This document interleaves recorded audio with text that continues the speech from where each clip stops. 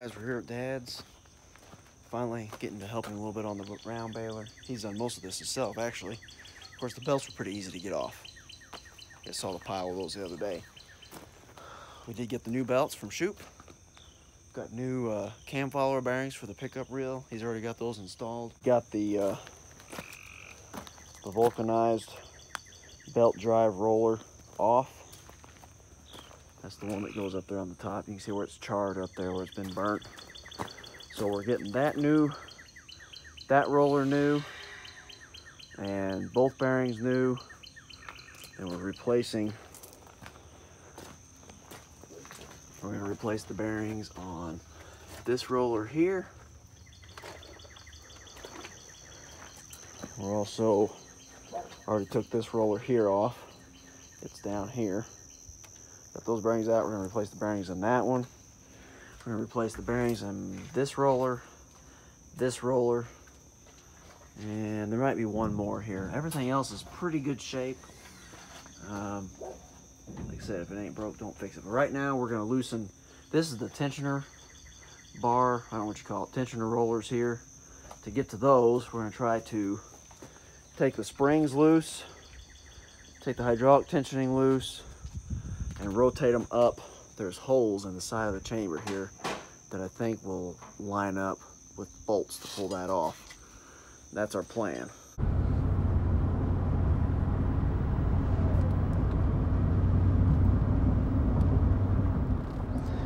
Looking like we got some more rain coming through. We've had quite a bit of rain here lately. I mean, nothing like flooding or anything like that, but it's perfect timing though. It's been really dry. We're getting some moisture in. That's going to help the hay crop. Uh, we're ready to cut a couple fields of second cutting. Still have one field that adds of first cutting. Um, I'm about ready to start working on the neighbor's ground. I'm going to start working it up. Getting some sprinkles and not on my ice cream. Definitely had some rain here. That we worked on the round baler a little bit. Got dark. Didn't get a whole lot of footage of that, but we took some rollers off. I'll include the part numbers. Um, I'll see if I can show you the rollers I'm talking about here, as well as the bearings that I'm talking about on those rollers. So there's multiple bearings. I'm gonna show you them right here on the tailgate of my truck and what, what I'm gonna do. So there's two bearings here. These came out of the same roller. Um, these are not just bearings. So you can see here, I can't turn this bearing because it's locked up. That's why I'm changing it. But there's two separate pieces here. You got your bearing, and the bearing, obviously it's a ball bearing, contains your inner race. Then of course your balls are behind this seal, and then your outer race. And then you have this piece of machined cast a bearing housing, okay?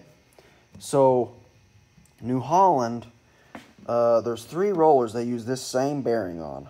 Two of them require this housing, this bearing housing here. One is a smaller diameter and the bearing just goes directly in that. So they actually offer this as a New Holland part number, just the bearing. And they offer this here as an assembly part number. Um, I can't remember the price, but I know this is the, the assembly part number is like double the price of just the bearing. So what I'm going to do, we're going to take take this to the press, and we're going to see if we can press this bearing out of this. And then we're going to get new bearings and try to press them into this, and that's going to save us quite a bit of money. Uh, these are about 150 bucks, 140, 150 for the assembly. And we're going to be doing four of these total and then two of just the bare bearings. So we're going to try the four of these. We're going to try to press all of them out and put just put the buy the bearing and replace the bearing. Reuse this piece here. Here at Dad's, he cleaned this bay of the barn out. Uh, you can see this is where my some of my first cut alfalfa is. This is where some of that last hay that we baled on him is. And uh, that last little bit that was had gotten a little bit of rain on it and was still a little bit wet when we built, we're going to put in here. This one he's going to use to feed to his cows. Should be able to fit it all in this bay very easily. We're over at my wife's grandma's place. I'm gonna grab some pallets to take to my dad's with me, and we're gonna move some more of that hay into the old barn. Um, we've got some pallets there, but while I'm up this way, coming coming back from work, I'm gonna go ahead and throw some pallets in here. We got pallets loaded. I got 10. There's 10 left in there. Uh, so I got one more trip, but that'll be good. I'll take these to Dad's. All right, we're gonna move the tractor and stacker, four-wheeler, and the Kubota out of the way. Get back in here. We're gonna move these two stacks over into the old barn. That'll be a pain here where it's kind of falling over, but it's all right, we'll get it. And this stuff here, we're gonna keep here, I think, just to kind of keep it separated.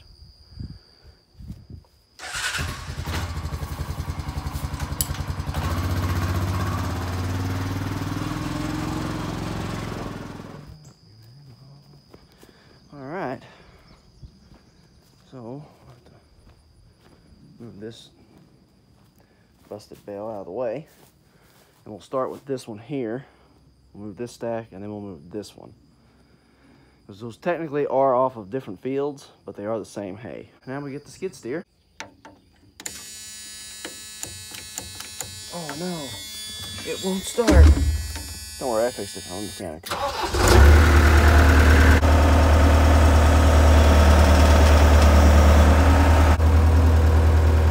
Biggest fear is getting this thing into the side of this building when I'm not really paying attention.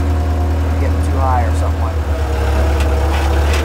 Maybe since I'm thinking about it, that won't happen.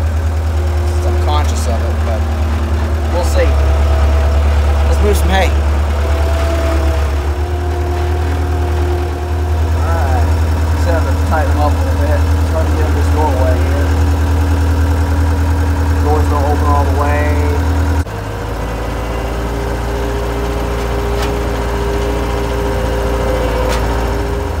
Alright, so you see it on the back there. The back of that left stack kind of fell over. So we're gonna have to kind of mess with that a little bit. We got got it under control now, though. Once we get this, the rest of that stack down to the ground, well, I guess we go ahead and get up there and fill some of those down and make it up one more layer.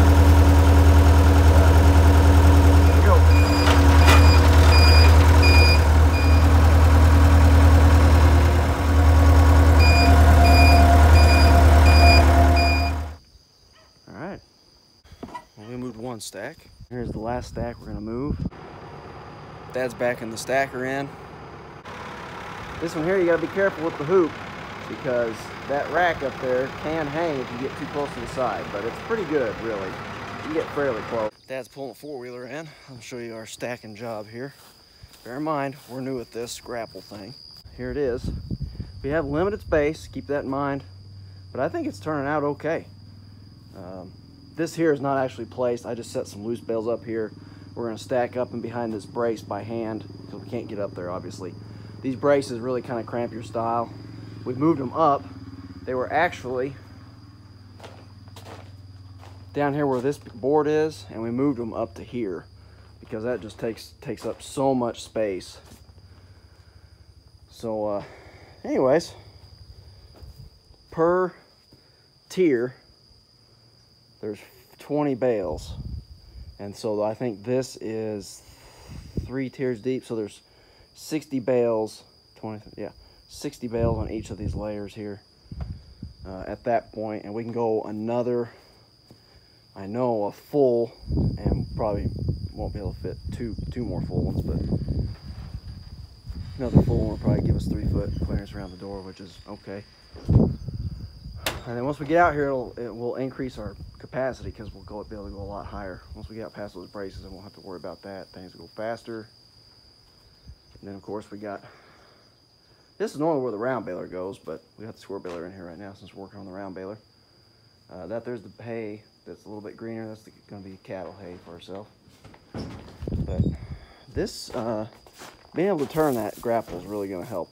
But th those bales are stacking pretty good for on edge. We're not real fans of stacking on edge, but uh, it's working. So once we get things figured out, we'll be a lot more efficient. We can do more bales in a day and all that good stuff, up our capacity. That's the plan.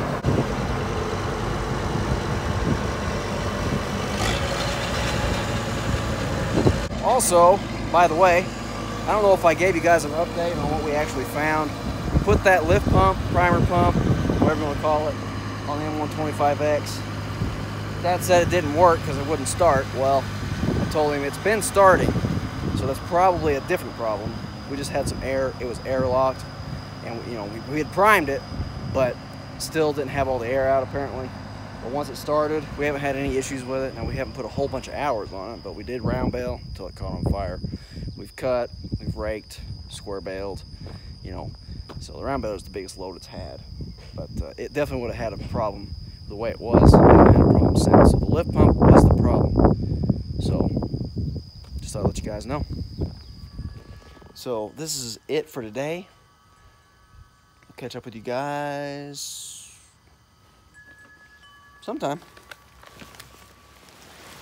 Well, it's rained pretty well all day, and it's been, I mean, it's come a couple toad stranglers for sure. to uh, get together and then we're gonna go by Take that back to the box. Good boy. Just got a package. I wonder what this package could be. Let's see. Huh. What is this? Oh, look here. Oh, look at that. No, eat one, baby. Franklin County Forage.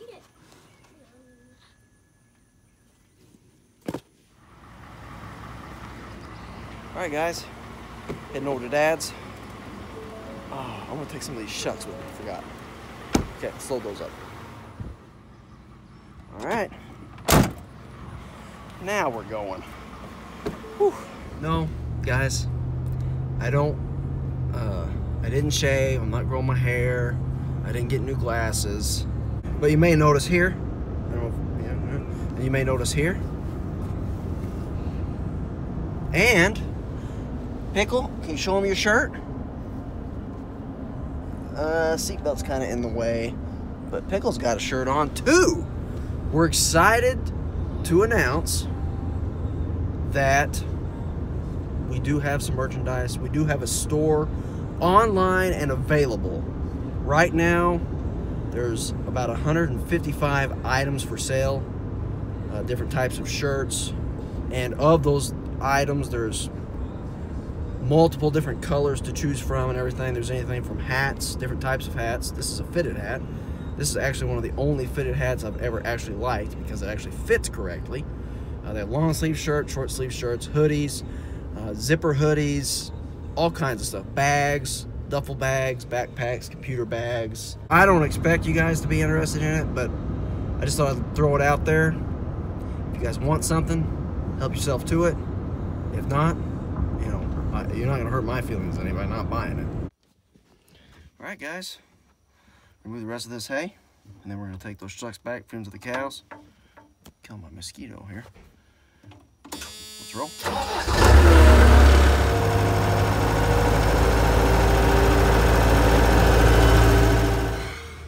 All right, Pickle, what are we gonna do? Where are we going? um, we are gonna go feed the cows some corn shoots.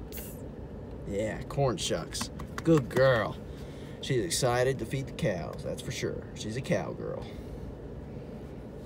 Let's roll. Sioux cow.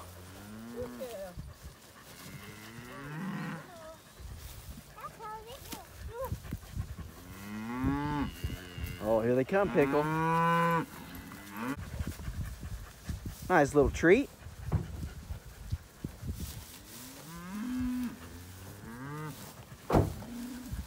Those last few stacks moved into the old barn.